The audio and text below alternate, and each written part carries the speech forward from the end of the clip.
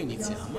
Il professor Paolo Ponzio, direttore del Dipartimento di Studi Umanistici dell'Università di Bari. Professore, questa tre giorni cosa ci dobbiamo aspettare? Eh, vai, ci aspettiamo sicuramente delle relazioni molto importanti su un convegno che appunto riguarda la narrazione dei pellegrinaggi e delle, e delle storie, delle, delle storie diciamo, di cammini dall'antichità al Medioevo e ci saranno colleghi che vengono evidentemente non soltanto dall'Università di Bari ma anche da alcune università con noi collegate soprattutto nel, eh, nei paesi ibero-iberici, cioè Spagna e Portogallo.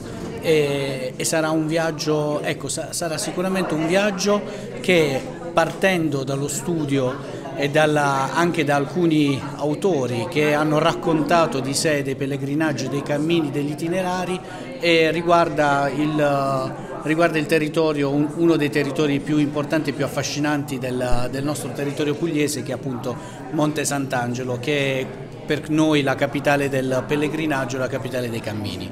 E quindi ci aspettiamo che questo convegno ci indichi anche qualche uh, sviluppo che il nostro territorio può avere nel, nel, guardare e nel realizzare cammini e itinerari che possano servire al, all'uomo e alla donna del XXI secolo.